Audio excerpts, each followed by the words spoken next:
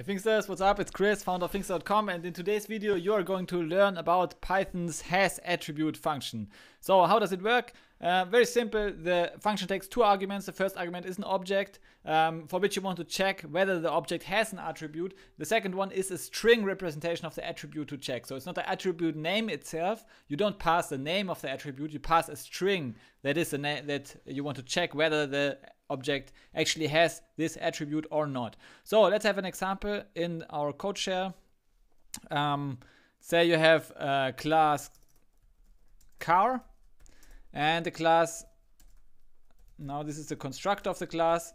First argument is always the self argument and now it may have um, a brand name, for example. Yeah? And now you set self brand to brand.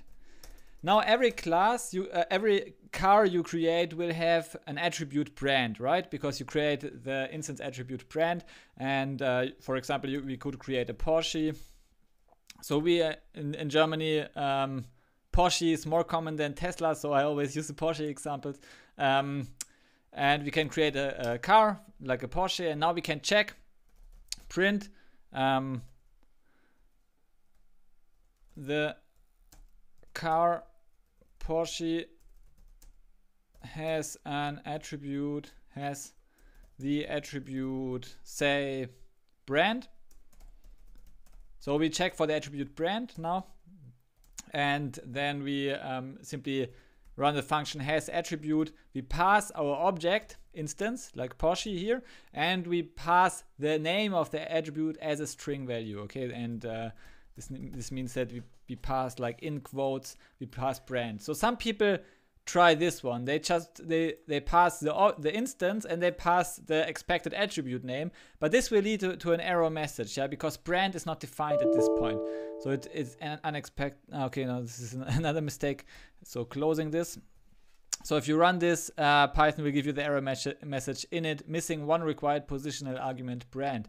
And um, so this one is actually um, this is a name that is not defined, so therefore it uh, throws an error because because it like passes an, an like an empty name or a name that doesn't exist into the has attribute function. So you want to enclose it with a quotation to you uh, the has attribute function expects a string value so you pass the string value and now we um, execute the code and we see um, has attribute Porsche Ah, okay, okay, sorry, we have to pass a brand name here. Um, let's pass a brand name like this. Okay, and run this. Good. Okay, so uh, so this one, the car Porsche has the attribute brand, and this is true. Okay, so so we correctly um, guess the attribute name. And this was also the, the, mistake. This was the mistake of the first error message that we that I actually didn't pass the Porsche here. Uh, it expects like the constructor in it. It expects one argument apart from the self argument that is always passed implicitly, and it expects a brand argument. And I didn't give it, so the error was already here, and it actually didn't even check this error, this uh, this part here. So let's try this again. And you see now brand is not defined. It's not a, it's a variable that is not defined. So this was what I wanted to show you before. Good. And um, so interestingly, if we define a method, say we define a um, method change brand. So we have a supercar that is able to change a brand.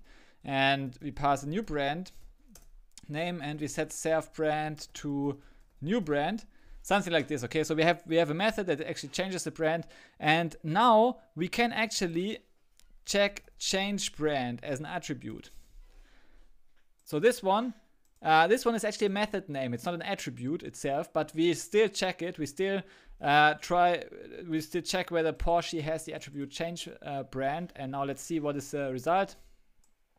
The result is still true. Okay, why is that? Because um, because uh, method names are just uh, Python just uses method names uh, similarly as uh, attributes. Okay, so actually there's no um, no um, implicit difference. Why? Because a method is simply um, is simply a method is a function uh, which is an object. So we so we have a an attribute can be either function object or it can be so some object some attributes are callable and these are the methods then.